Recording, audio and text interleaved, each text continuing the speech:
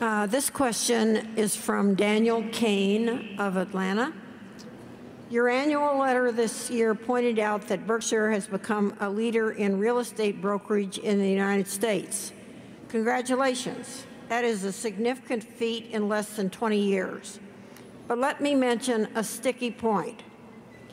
If fees charged by stock market active managers are a drag on investor performance, I would argue that real estate commissions are no different and perhaps more detrimental, especially when one considers the lifetime effects of large, foregone, foregone upfront cash flows and the power of compounding interest.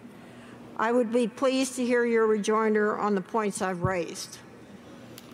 Well, the, the purchase of a home is the largest financial transaction for a significant percentage of the population that they make. And, and uh, people, a lot of people need a lot of attention.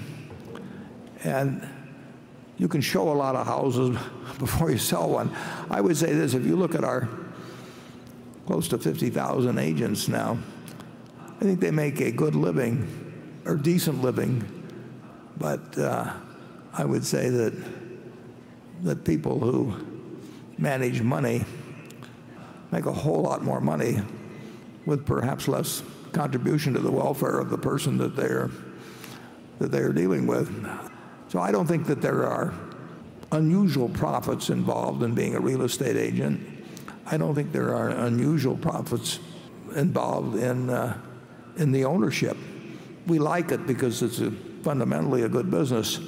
But here we are doing 3% of all the real estate transactions in the United States, and we're making maybe $200 million a year, which well, we won't get into what the comparative efforts are in Wall Street to earn 200 million, but uh, I think I have to tell them about Roy Tolles a little bit on this. Roy Tolles, for example, Charlie's partner, many, many, many years ago, decided he was going to want to buy a house in San Marino. He's going to have a number of kids.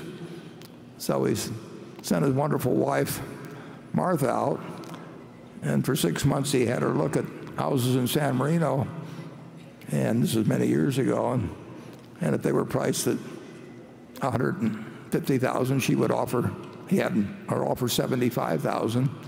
And of course, the real estate agents were going crazy because they were going to get something listed at 150 sold at 75. And then finally, when she found one that they both really liked, he had her offer something like 120.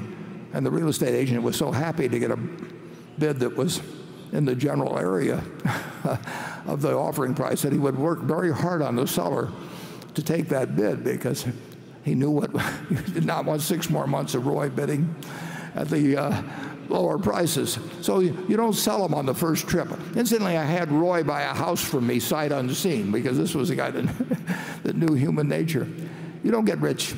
Real estate agency you know, people earn their money and they earn it in a, in a perfectly in a perfectly respectable and honorable manner in terms of what they get paid. And, and uh, as in every single industry there is, there, you know, there, there can be excesses or mistakes or that sort of thing.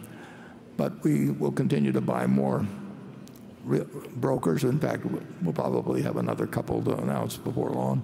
And uh, we will feel that if we get to where we're doing 10% of the real estate brokerage business in the country and we're making six or seven hundred million dollars a year pre-tax, we will not think that's a crazy amount of money to make for enabling 10% of 5 million people to change their homes every year in the United States. Charlie? Well, the commissions in real estate may get unreasonable if you're talking about $20 million houses. It seems a little ridiculous to pay a 5% commission on a $20 million transaction. But do any of us really care if the kind of people who pay $20 million for a house have a slightly higher commission? The ordinary commission is, not, is, is pretty well earned. Yeah we have a number of brokerage firms. So the, the highest has their average transaction in one section of the country would be close to $600,000 a unit. But the, in terms of the sales price of the house. But the, in most of our real estate operations, uh, the average price is, more like 250,000 or something in, that area.